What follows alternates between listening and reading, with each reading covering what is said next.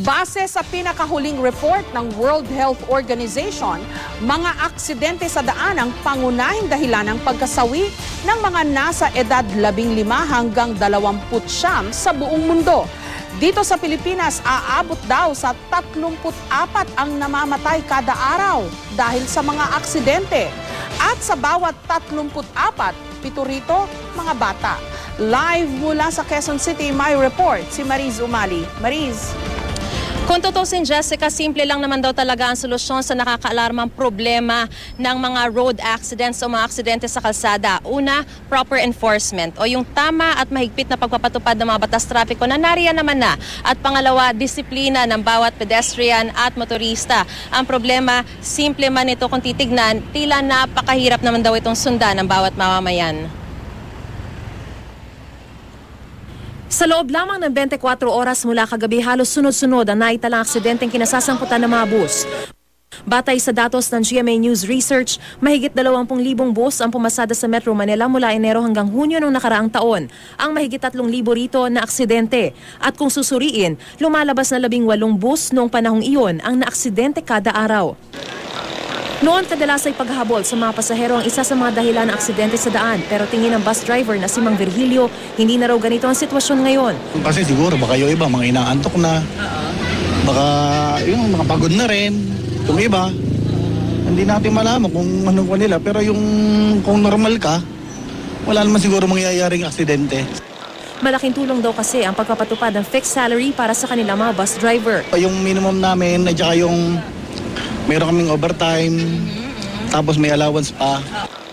December 2012 pa ang deadline ng DOLE para ipatupad ang fixed salary scheme na nais palitan ng commission-based payments sa kanila. Meron na kasi actually silang mga isinasubmit of yung kanilang salary scheme sa ating uh, Department of Labor and Employment. So, pag submit nila noon, ia-aprobahan nila na ng DOLE yon and then ibibigay na naman nila sa amin yung mismong uh, approved uh, salary scheme.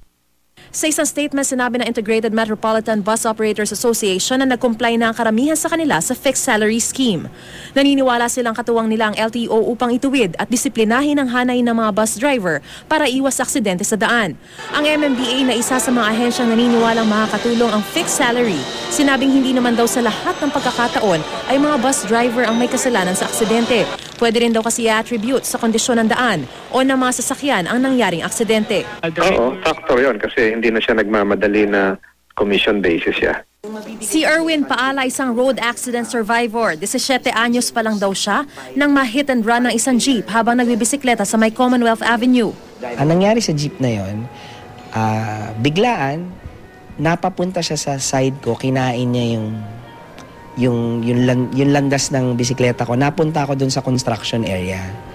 Dinala niya ako ng mga 15 meters pa, nakaladkad ako. Muntik nang yun ang kinamatay ko. Base sa 2013 World Health Organization Global Report, road fatalities ang naging pangunahing dahilan ng pagkasawi ng mga nasa age bracket na 15 to 29 years old sa buong mundo.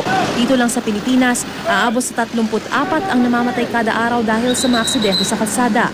Sa bawat 34 na namamatay, pito rito ang mga bata. It is very alarming. Magiging disiplinado. Iwasan natin yung tatlo, sinasabi ko, no? Palagi, na iwasan natin yung pagiging, yung recklessness, ignorance, and plain stupidity. Kaya ang Safe Kids nagsasagawa ng mga programa para maturuan ang mga bata ng tamang pagsunod sa mga road safety measures. It's like an epidemic. All of us need to be more aware to do our part. Ang International Road Assessment Program tumutulong sa DPWH simula 2011 para maiayos ang mga kalsada sa bansa. Daan-daang libong kilometro ng mga kalsada ang pinag-aaralan nila pero tututok ang kanilang pagsusuri sa 30,000 na kilometro ng mga kalsada na pinakadinaraanan ng mga sasakyan at pinakamaraming naitatalang may aksidente. Sa ngayon natapos na raw nila ang pag-aaral sa 6,000 kilometers ng national roads at ang kanilang nakitang problema sa ating mga kalsada Making sure that the intersections are good delineation, so good line marking, good signs, um, safe turning space for each of the cars is really, really important. Paalala ng mga road safety experts, sundin ang anim na haliging batas sa kalsada. Magsuot ng seatbelt, gumamit ng child restraint o nararapat na upuan para sa mga bata. Sundin ang tamang speed limit, huwag uminom o magdroga at magmaneho. Magsuot ng helmet at huwag mag-text habang nagda-drive. Jessica, target ng mga road safety expert na by 2020 ay ah, ma-reduce by half itong bilang ng mga na-aksidente sa kalsada kung hindi naman ay mas mababa pa. Hindi naman daw imposibleng makamit ang target na ito basta't nariyan lamang yung mga expertise at ah, susundin ang mga eksperto at ah, nariyan din yung concerted effort ng bawat mamamayan. Plano rin ng DPWH, katuwang ang IRAP, na ilunsad yung kanilang proyekto ng pagbibigay ng mga stars or ratings sa mga kalsada. 1 to 5 ito, Jessica, para matukoy ano ba yung pinakadelikado, ano ba yung pinakaligtas na kalsada. At ah, layon din ito na mahikayat ang mga local government units at pati na rin ang mga authorities at motorista na makibahagi sa pagkamit ng 5-star rating na ito. Jessica? Maraming salamat, Mariz Umali.